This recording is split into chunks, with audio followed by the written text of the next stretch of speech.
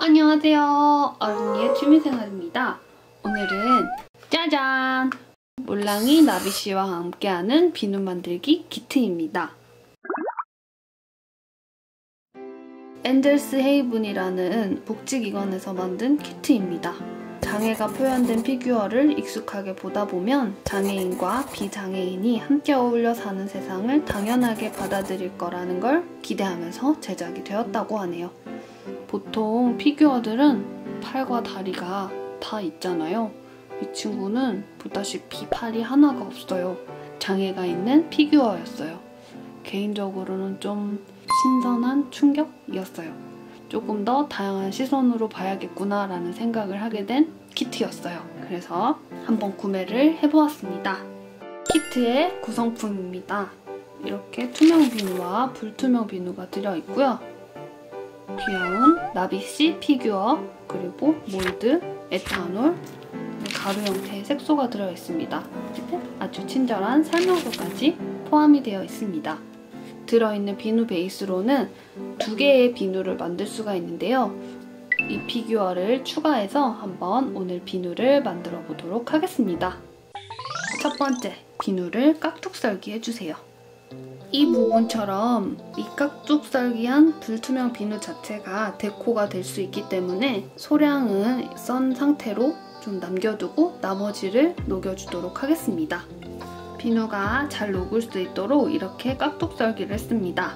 그리고 데코용으로는 이렇게 잘게 잘라서 준비를 해두었습니다. 그럼 이 비누를 녹여올 건데요. 가장 간편하게는 전자레인지에 녹여주시면 됩니다. 전자레인지에 녹이실 때는 10초에서 30초 간격으로 중간중간 확인하면서 녹여주셔야 끓어 넘치지 않습니다. 혹시 전자레인지가 없으시다면 중탕을 해서 녹여주시면 됩니다. 비누가 다 녹았다면 몰드를 준비해 주시고요. 들어있던 에탄올을 몰드에 충분히 뿌려주도록 합니다. 투명한 흰색 비누를 살짝 깔아주시면 됩니다. 이렇게 부으셨으면 에탄올을 뿌려서 기포를 없애주시고요.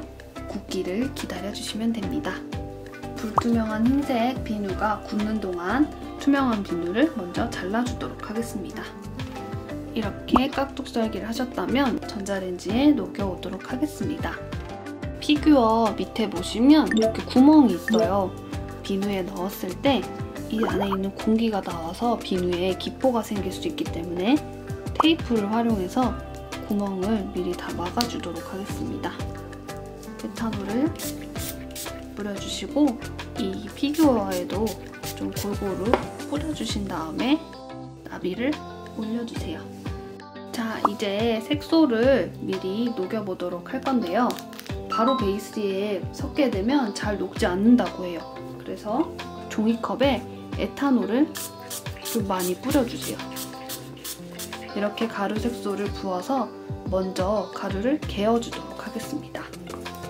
자, 이렇게 투명 베이스를 녹여왔습니다.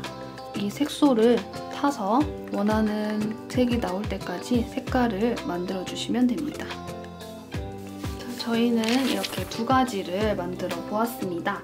녹여둔 투명 베이스를 부어주도록 하겠습니다. 너무 온도가 뜨거우면 애써 굳혀놓은 이 흰색 비누 베이스가 또 녹아버릴 수 있기 때문에 살짝 식혀주신 다음에 넣어주시고요. 한번 부으신 다음에는 역시 에탄올을 뿌려주시면 됩니다. 그 다음으로는 이 잘라둔 비누 조각을 조금 조금씩 넣어주도록 하겠습니다. 마지막으로 이렇게 에탄올을 뿌려주신 다음에 충분히 굳기를 기다려주시면 됩니다. 자, 나비씨 비누가 이제 단단하게 굳었습니다. 한번 꺼내보도록 하겠습니다. 심쿵하죠? 너무 귀여워. 이거 보세요. 뒷모습도 동글동글 너무너무 귀엽죠? 이렇게 나비씨가 온천에서 목욕을 하고 있는 듯한 귀여운 피규어가 완성이 되었습니다. 아, 너무 귀엽네요, 진짜. 아까 물랑이는 색소를 조금 더 진하게 했습니다. 조각조각 넣은 게 되게 이쁜 것 같아요. 특별한 몰드가 없이도 이렇게 투톤을 활용하는 방법 그리고 속몰드가 없이 네모나게 잘게 자른 비누만으로도 좀 더 풍성한 모양을 낼 수 있는 것 같습니다.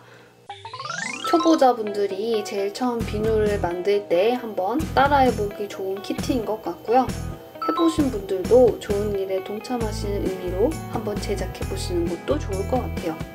개인적으로도 좀 많은 걸 생각할 수 있었던 좋은 시간이었던 것 같습니다. 여러분도 그럼 예쁘게 비누 만들기 해보시고요.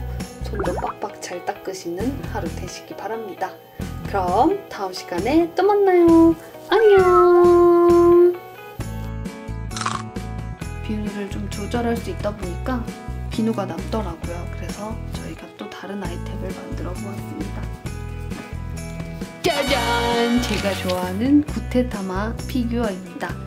남은 색깔을 섞어서 붓다 보니까 밑에서 보시면 약간 그라데이션이 된 느낌도 보실 수가 있는데요.